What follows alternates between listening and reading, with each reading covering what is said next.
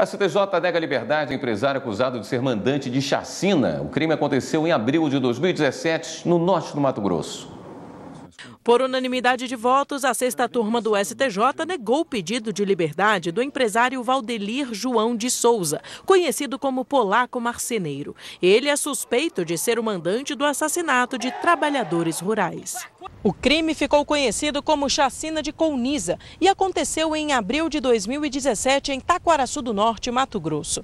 De acordo com o processo, o empresário seria líder de uma milícia armada e teria a intenção de aterrorizar e expulsar poceiros de propriedades para extrair recursos naturais das terras e vendê-las futuramente.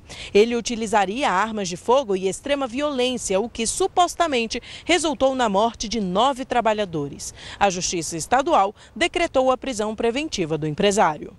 No STJ, a defesa do acusado alegou ausência de indícios de que ele é o mandante do crime, além de afirmar que não estariam presentes no decreto de prisão preventiva as condições necessárias para autorizar o cumprimento da sentença.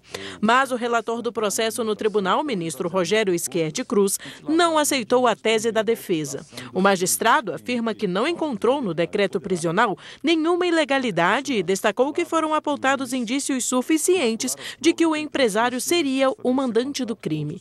Rogério Schietti Cruz também reconheceu a necessidade da prisão preventiva para garantir a ordem pública e levou em consideração o fato do acusado ter fugido. Para o ministro, enquanto o empresário não se apresentar à justiça, vai permanecer o motivo principal para a prisão preventiva.